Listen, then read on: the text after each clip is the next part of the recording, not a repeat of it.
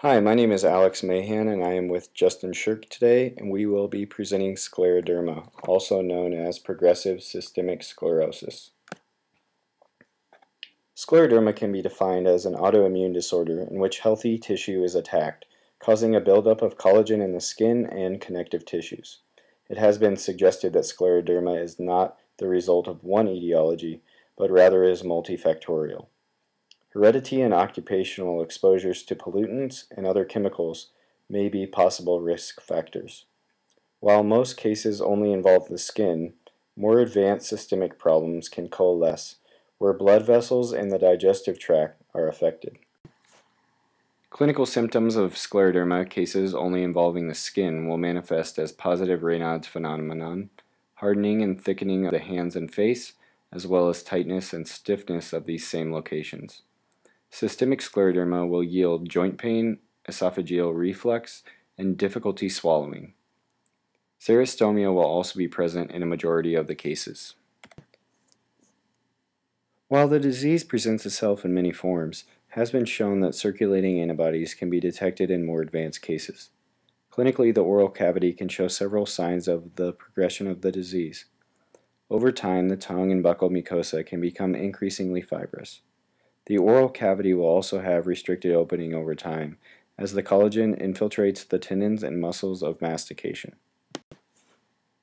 Scleroderma tends to first manifest itself in the third to fifth decade of life, typically affecting more females than males.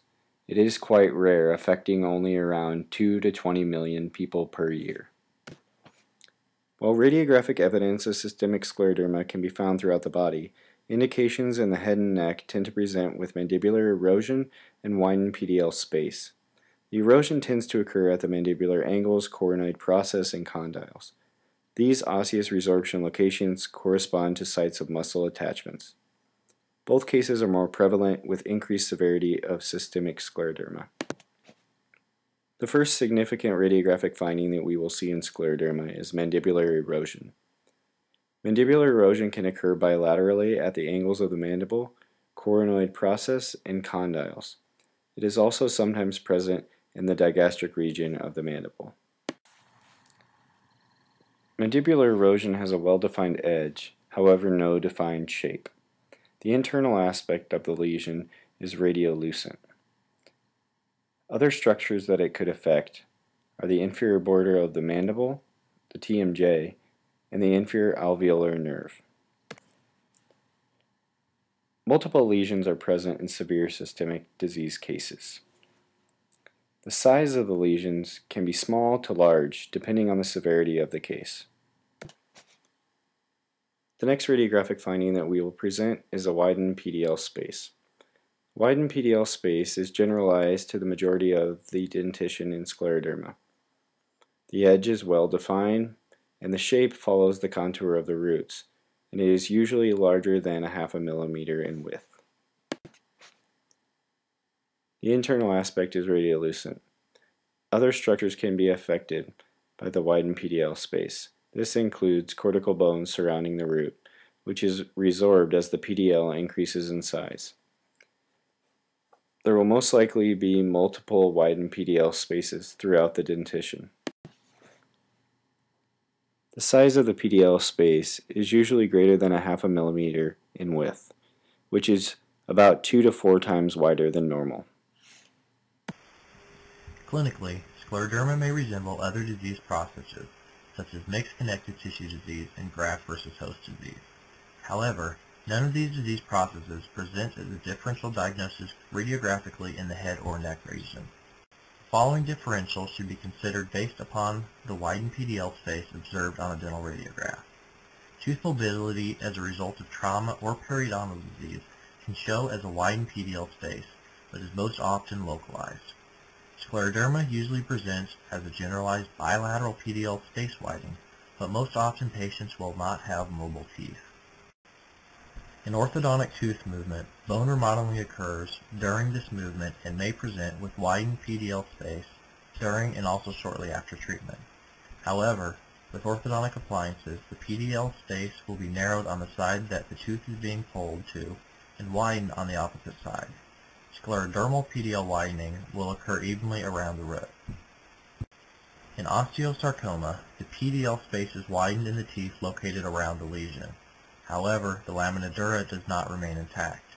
In scleroderma, the lamina dura remains intact and usually occurs in more than one quadrant. A final interpretation of scleroderma cannot be based upon radiographic findings alone. Though, it is common to present with mandibular erosion and widened PDL space on radiographs, clinical signs and laboratory tests are essential in determining a definitive diagnosis. While there is no definitive treatment for scleroderma, medications can be prescribed to help manage complications of the disease. The proper chemotherapeutic action is dependent on the severity of the skin and the organs involved.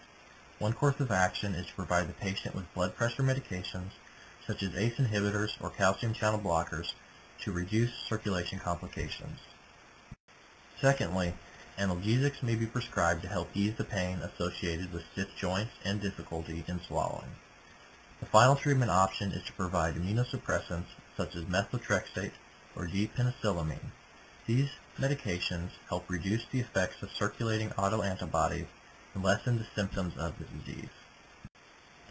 If the disease is suspected upon examination and has not been diagnosed, the patient should be referred to their primary care physician for management and for future treatment options. The primary care physician will be able to order blood draws and radiographs of the lungs to determine the severity and the stage of the disease. While systemic management of the disease is not in the spectrum of care for dental professionals, the patient's oral health can be improved and managed through regularly scheduled dental appointments and comprehensive patient education. Xerostomia is a common symptom of scleroderma which can put a patient at an increased risk for plaque, caries, and periodontal disease, so it is essential that the patient have excellent at-home oral health. Sugar-free candy, artificial saliva, and increased intake of water should also be recommended to the patient. As the disease progresses and sclerodactyly develops, it is important that the oral hygiene aids such as electric toothbrushes, flossing aids, and water picks are provided to the patient. Characteristic clinical findings of scleroderma include hardening and thickening of the skin, Raynaud's phenomena, xerostomia, and restricted mouth opening. Characteristic radiographic findings include bilateral mandibular erosion at muscle attachment sites. These include the angle of the mandible, the coronoid process, and the condyles. Significant widening of the PDL spaces occurs throughout the entire dentition. The best treatment option that a dental professional can provide is to help maintain the oral health of the patient. This can be accomplished by providing the patient with regular periodontal treatment, eliminating active caries and other periodontal disease through the restorative and endodontic therapy, but most importantly, by educating the patient how to properly maintain superb at-home oral hygiene.